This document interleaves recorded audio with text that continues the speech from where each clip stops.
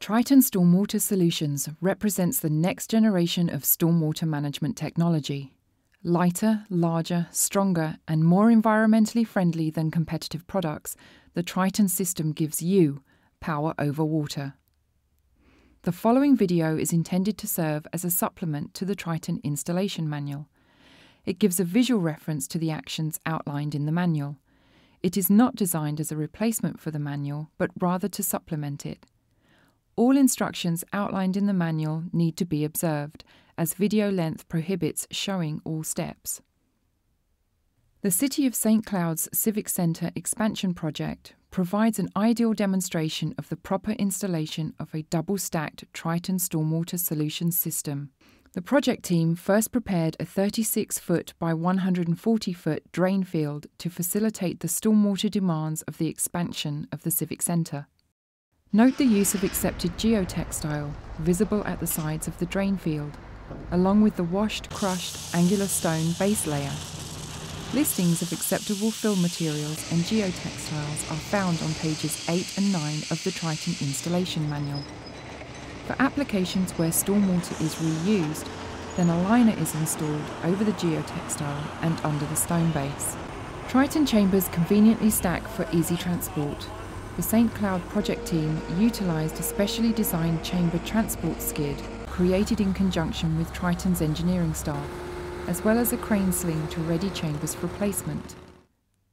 The site plan dictates the first tier orientation. The Triton chambers are simple to place and properly position, but care must be taken to build the rows following the directional arrows stamped on each chamber. Also, rows must be separated by a minimum of 7.5 inches. Triton recommends utilising a string line to ensure that the first row of chambers is straight. After the first row is properly aligned, the remainder of the parallel rows can simply be measured to keep them straight. At just £32 each, several chambers are easily carried by one worker. Proper positioning is easy to maintain as the Triton chambers fit together securely and are clearly marked with arrows to indicate build direction. A two-man crew can easily place hundreds of chambers in a single day once the site is prepared. You will note that the Triton chambers also have pre-marked locations for cutouts to be made in cases where inspection ports are desired or row-to-row -row connections are called for. By using these pre-located ports, the strength and integrity of the Triton chambers is maintained. With the Triton chambers in place, the drain field is ready for the placement of stone. Because the St Cloud installation called for a double stack of Triton chambers, the first layer of crushed angular stone will be built up to one foot above the chamber height. During this process, the chambers are anchored by ladling stone directly over the chamber's centre lines. Frequent checks are needed to ensure that proper distance between chamber rows is maintained and that the amount of stone around the chamber does not exceed 12 inches from one side of the chamber to the other. Stone may be placed through a variety of means, but the use of a telescoping conveyor boom truck is the most efficient and cost effective way to place the stone. Refer to the Triton installation manual for approved stone delivery methods and fill rates.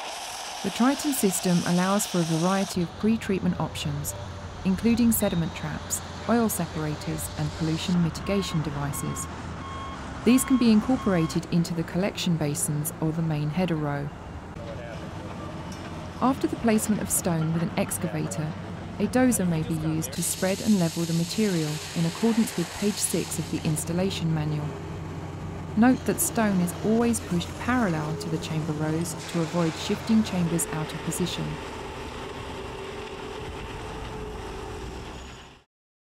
In a double stack system, the second tier of chambers is placed at 90 degrees to the first. Again, the crew begins the simple process of placing the chambers in position. It is critical that each chamber be seated properly on the one that precedes it in a row, and this is easily facilitated by the Triton system's design. While not visible to the eye, the chamber's end corrugations are sized differently to allow for an overlapping joint. It is crucial that the chamber placement does not exceed the reach of the construction equipment used to place the stone. In large projects, it may be necessary to build the chamber rows in phases to facilitate delivery of stone. Much of the success of the Triton system is due to the innovative main header row, which serves as a collection point for stormwater to be distributed out to the chamber rows. This centralised collection point allows for easy pre-treatment when needed and also makes capturing and later removing sediments easy. This overview shows a proper chamber placement and backfill scenario. Note that the stone has settled down between the chamber rows, securely anchoring the chambers and leaving no gaps.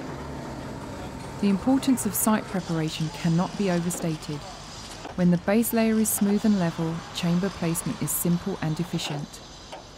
Utilising the specified backfill material ensures that the chambers are properly supported and will maintain the proper alignment both vertically and laterally. Here the proper orientation of chambers in a double stacked installation, 90 degrees between tiers, can also be seen.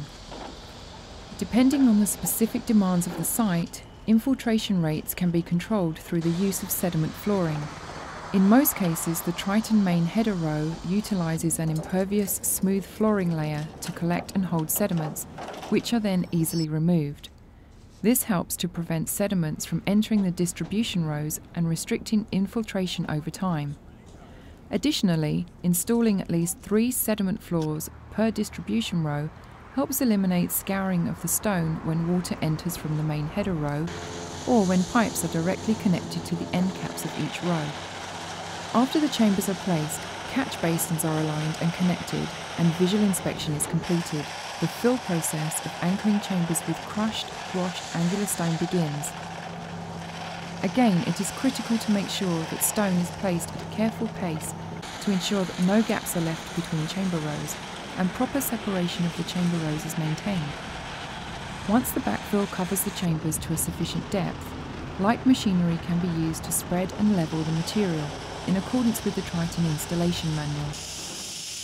In this installation, 9.5 inches of fill will be placed over the top tier of chambers as a preparation for the layer of pavement that will become the Civic Centre's parking lot.